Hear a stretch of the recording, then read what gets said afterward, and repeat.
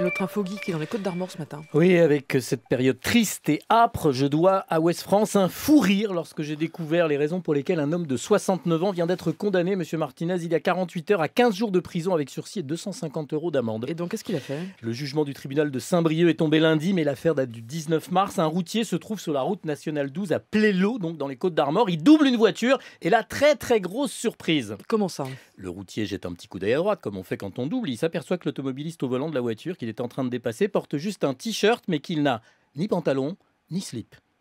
Le routier, donc un peu secoué, appelle Donc, les il a bien gendarmes. vu, hein, je voudrais pas dire. Oui, oui. Ah il a- bon. ah ben, quand, un camion, ça va pas vite, euh, Mm, Fabienne. Donc, euh, il, il voit en passant euh, tout, tout ce- tout ce qui traîne, si je puis dire. Le routier appelle les gendarmes. Le conducteur est rapidement retrouvé grâce au signalement. Interpellé, il explique aux enquêteurs qu'il ne voulait pas froisser son pantalon, je vous jure que c'est vrai. Du coup, au tribunal lundi, le président lui demandait pourquoi il ne portait pas non plus de sous-vêtements. La réponse est tombée lapidaire, je n'en mets jamais. Et c'est bien parce qu'il ne portait pas de slip que le prévenu comparaissait pour exhibition sexuelle. Le procureur lui a fait remarquer qu'à la place du routier, un, un quart scolaire aurait tout à fait pu le doubler, des enfants auraient pu voir ça.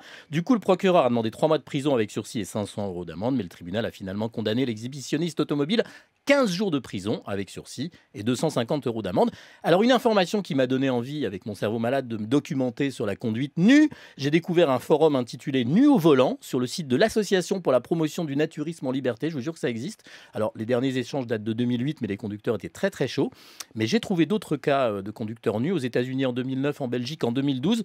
Plus près de nous, en avril, dans l'Indre, le conducteur d'une Citroën a été interpellé pour sa drôle de conduite et il ne portait qu'un t-shirt laissant apparaître ce que Coluche appelait les choses de Alors il y a même une affreuse histoire où un homme s'est tué nu au volant de sa voiture au Canada en 2013. Mais il se trouve que la nudité, voire l'exhibitionnisme, ne sont pas toujours si coupables ni si dramatiques.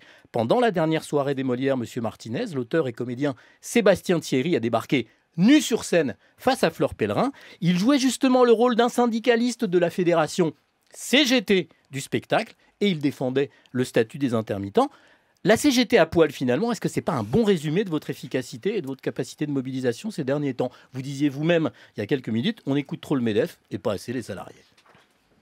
Oui, bah écoutez, euh, déjà ce monsieur devrait prendre des cours de repassage. Et puis euh, la CGT à poil, euh, faut se couvrir. On arrive en hiver et pour être dans la rue, il va falloir se couvrir, oui. Alors couvrez-vous. Merci.